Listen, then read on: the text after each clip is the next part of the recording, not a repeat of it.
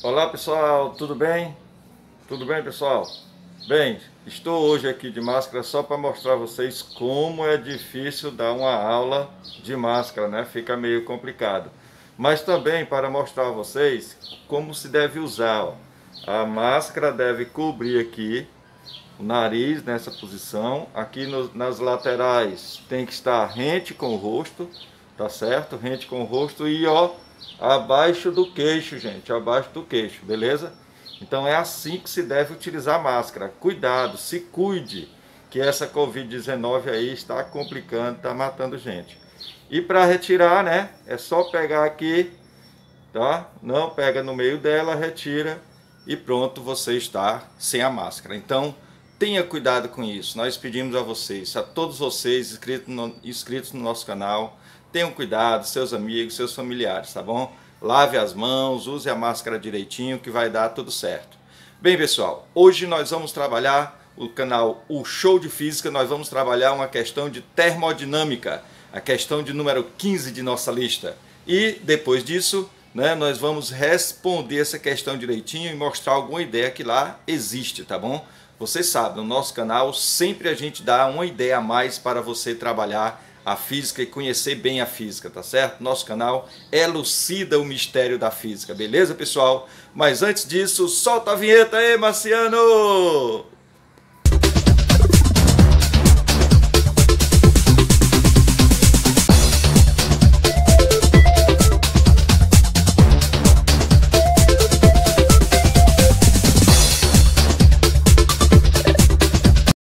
Questão de número 15 diz o seguinte: numa transformação termodinâmica, um gás ideal troca com o meio externo 209 joules em forma de trabalho. Determine em calorias o calor que o sistema troca com o meio externo. Em cada um dos casos, letra A, numa expansão isotérmica, letra B, numa compressão isotérmica, letra C, numa expansão adiabática, ok? Vamos lá então responder a questão. Bem, pessoal, Vamos lá, né? Depois dessa vinheta aí legal aí que o Marciano passou, ótimo. Essa é a vinheta do nosso canal, o Show de Física, tá bom, gente? Bem, depois disso nós vimos também a leitura aí da questão, né? Vimos a vinheta, vimos a leitura da questão. Vamos lá resolver a nossa questão, beleza? Então o que é que diz ela? Olha só, a questão diz que nós temos um gás ideal, a questão de número 15, tá? Questão 15. Nós temos um gás ideal. Esse gás ideal, é, é aquecido, né? sofre a ação de um, uma quantidade de energia, um calor, e ele realiza um trabalho, ele interage realizando o um trabalho com o meio externo. Só que esse trabalho ele não diz se é positivo ou negativo. Vamos analisar, tá ok? E a questão nos pede qual a quantidade de calor necessária para que ocorra isso, né? Mas ele quer em caloria. Veja que ele deu trabalho em joule. E aí ele dá a relação diz que uma caloria é 4,18 joules. Aí nós vamos usar para fazer a conversão, tá bom? Ele então pede que nós façamos esse, esse estudo termodinâmico em três situações. Quais são elas? Ora, primeira situação na letra A, quando ocorre uma expansão isotérmica com gás. A segunda, letra B, uma compressão isotérmica também. E a terceira, uma expansão adiabática. Como é que se faz isso? Vamos lá, vamos lá no nosso canal, certo? Pois bem, então vamos responder a letra A. Na letra A, nós sabemos o quê? Que vai acontecer uma expansão isotérmica. Então, primeiro, lembre-se, é uma expansão. Toda vez que você tiver uma situação de um gás em que ocorre expansão, você lembre-se logo, o trabalho realizado é positivo, ou seja, é um trabalho realizado pelo gás, é realizado pelo gás, tá? E não sobre o gás. Trabalho realizado pelo gás, tá, tá ok? Lembre-se disso, é um trabalho positivo na expansão. Bem, uma outra coisa é que ele fala que essa expansão é isotérmica. Ora, se a expansão é isotérmica, o que, que eu posso tirar de ideia aqui?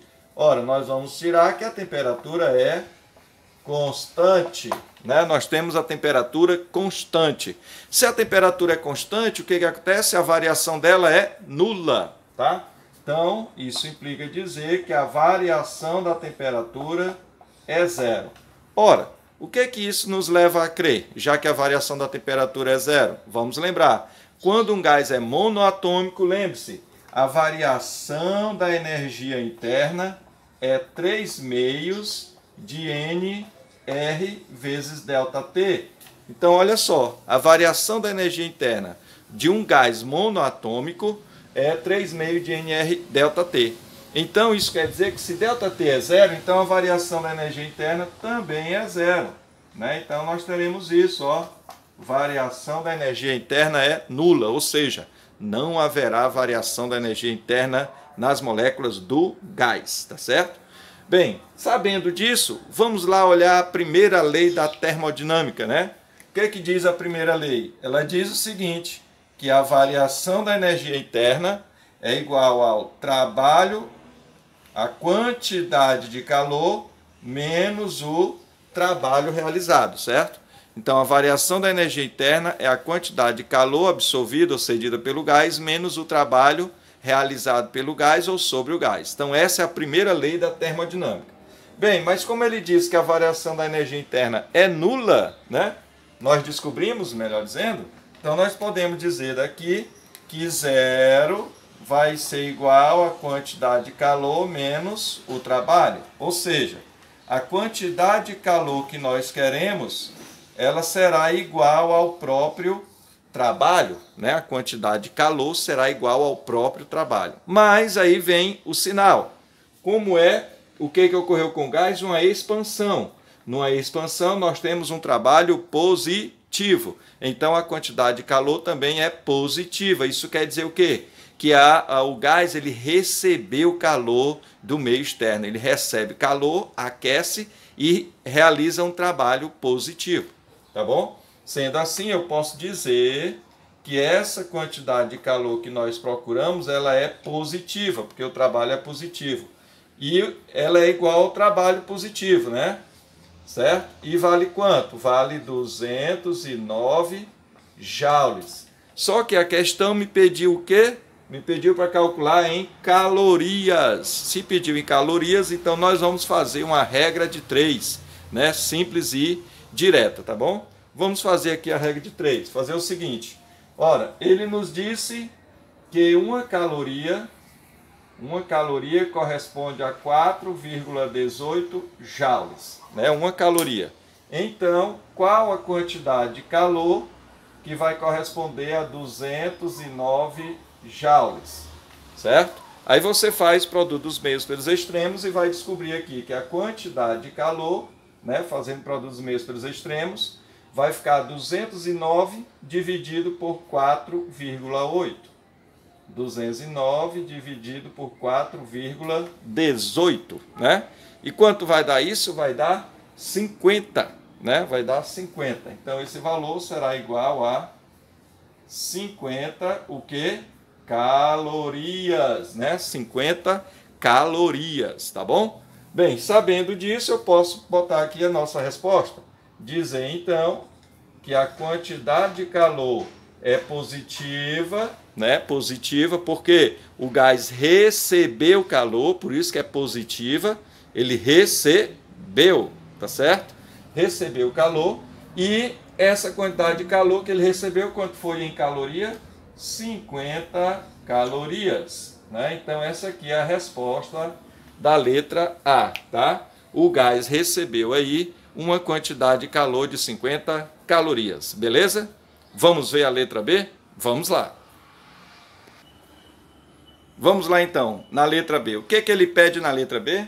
Ele continua pedindo a quantidade de calor em calorias, só que na letra B a situação é de uma compressão isotérmica. Ora, compressão isotérmica vai querer dizer o quê? Ora, lembre-se só, Lembre-se aqui que se é uma compressão, tá? Toda vez que ocorre uma compressão sobre o gás, tá? Essa compressão nos indicará que o trabalho foi realizado sobre o gás, tá? Se ele foi comprimido, você comprime o gás, então foi realizado sobre o gás. Nesse caso, esse trabalho é negativo. Se o trabalho é negativo, então nós vamos ter também o calor negativo, será? Sim, né? Mas vamos ver aqui. Então nós teremos o seguinte, ele diz que é compressão, trabalho negativo. Isotérmica, olha, isotérmica, mesma ideia. Isotérmica, mesma ideia da letra A, né? Se é isotérmica, a temperatura é constante, e se a temperatura é constante, nós já vimos na letra A, nós vamos ter a variação da temperatura nula e também vamos ter a variação da energia interna nula, né? Uma coisa leva a outra consequência. Beleza, pessoal? Então, sabendo disso, vamos então calcular essa quantidade de calor. Lembrando de que? Primeira lei da termodinâmica, né? Primeira lei, vamos lá. Na primeira lei, nós sabemos que a variação da energia interna é igual ao calor menos o trabalho realizado. Com isso, se a variação da energia interna ela é nula, né, nós podemos dizer que zero vai ser igual ao calor menos o trabalho realizado. Ou seja, a quantidade de calor que nós queremos, ela será igual ao próprio trabalho realizado, certo? Então, a quantidade de calor é o próprio trabalho realizado, são iguais. Ora, mas eu sei que esse trabalho é negativo, né? Então, a minha quantidade de calor também vai ser negativo, né? O valor do trabalho é negativo, então vamos ter menos, né, o valor do trabalho. Quanto é o valor do trabalho? 209 joules, né? Só que a questão me pediu o quê? Para calcular esse calor, essa quantidade de calor em é, calorias, né? Se é calorias, nós já fizemos aqui na letra A a conversão, né?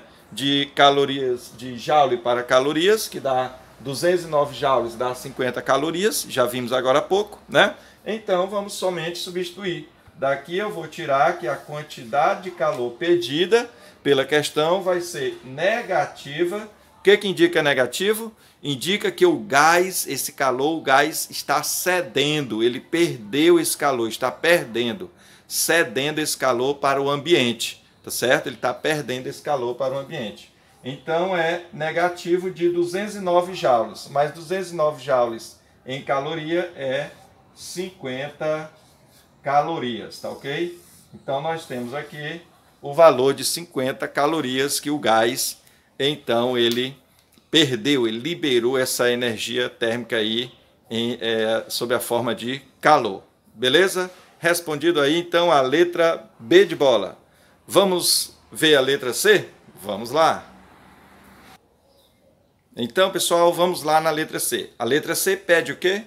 Que nós calculemos também o calor em calorias, né? Sabendo que a situação é de uma expansão adiabática. Vamos lá trabalhar. Ora, se é uma expansão, lembre-se, quando é uma expansão, vamos anotar aqui. Toda vez que ocorre uma expansão, né? na expansão nós temos o quê?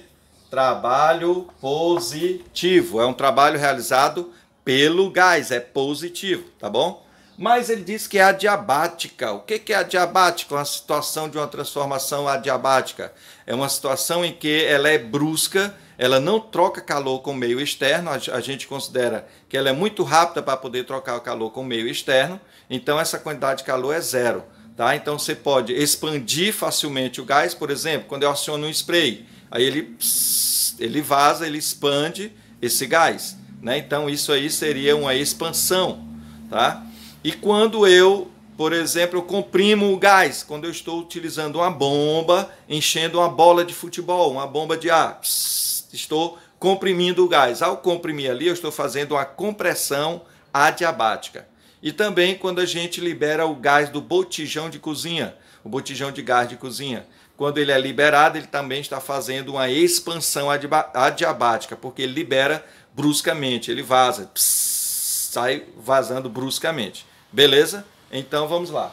Sabendo disso, como ele falou que é adiabática, adiabática, isso implica dizer o quê? Que a quantidade de calor trocada com o meio externo é zero, porque é uma expansão adiabática, tá certo? Então, bem aí, pessoal, estaria respondido nossa questão. É adiabática, o calor é zero, não tem calor trocado com meio externo, né?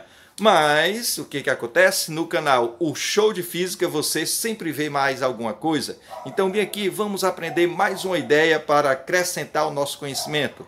Tá? O canal O Show de Física faz isso para você, tá bom, gente? Então vamos lá, vamos analisar aqui. Olha só, é, se a transformação é adiabática, vamos lembrar então da primeira lei da termodinâmica. Nós vamos ter que a variação da energia interna é a quantidade de calor menos o trabalho realizado. Se ela é adiabática, olha só o que, que acontece aqui. Nós temos a quantidade de calor nula. Resultado. Vamos então descobrir que a variação da energia interna é o oposto do trabalho. Oxe, como assim? Né? Oxente, como assim? O que quer dizer isso? Ora, isso quer dizer que quando o trabalho for positivo, tá? a variação da energia interna vai ser o que? Mais por menos vai dar mais por menos vai dar menos, então a variação da energia interna vai ser negativa. Se a variação da energia interna é negativa, isso quer dizer o quê? Que a variação da temperatura também é negativa. Ou seja, o sistema vai resfriar. Ele resfria quando nós temos o quê? Uma situação que o trabalho é positivo. E o trabalho é positivo aonde? Na expansão. Então, no caso aí dessa questão que é a expansão, o sistema vai resfriar. Então, por exemplo, se eu pego um spray e libero aqui ele, né? Psss, quando eu percebo, eu toco a latinha, ela está fria. A explicação é isso, é porque a expansão desse gás realiza um trabalho positivo, a variação da energia interna é negativa e a variação da temperatura é negativa. Resultado, o sistema resfria. Se fosse o contrário, se fosse o contrário, se o trabalho, por exemplo, fosse positivo, e onde é que o trabalho é positivo? né, ele vai ser positivo, ou melhor, negativo agora. Quando o trabalho for negativo, nós temos isso onde? Já vimos, olha só, na letra B. É quando ocorre uma compressão, tá? Uma compressão. Se for uma compressão adiabática, é uma compressão brusca. Por exemplo, quando eu estou bombeando ar, enchendo uma bolinha de futebol. Então, nesse caso, a variação da energia interna vai ser o quê? Ó? Se a, a, o trabalho é negativo, nessa compressão brusca, menos por menos vai dar mais. Então a variação da energia interna vai dar positiva. Se é positiva, a variação da temperatura é positiva. Isso quer dizer que o sistema vai aquecer, o sistema aquece, o sistema esquenta. É por isso que quando você está bombeando ar, para uma boia ou para uma bola, né? uma boia que você usa na piscina ou uma bola de futebol. Quando você bombeia ar com uma bomba de ar, você percebe que isso é uma compressão brusca, ela é adiabática, tá bom? E nessa compressão adiabática, a bomba esquenta, ela vai aquecer, o ar fica quente ali. Olhei? Ok, gente? Então é isso. O canal O Show de Física respondeu aí a questão de número 15 letras A, B e C e nós encerramos por aqui. Deixamos um forte abraço, um abraço a vocês, deixe seu like, ative o sininho, compartilhe nossos vídeos que nós queremos aumentar mais e mais os, os inscritos em nosso canal. Faça isso. Um forte abraço, tudo de bom. Até logo mais.